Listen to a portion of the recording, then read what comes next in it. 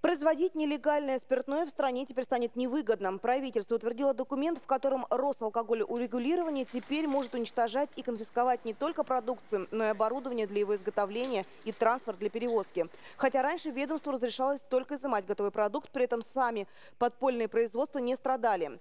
Теперь эта лазейка закрыта, правда еще непонятно, как будут уничтожать оборудование. Правовые акты пока разрабатываются.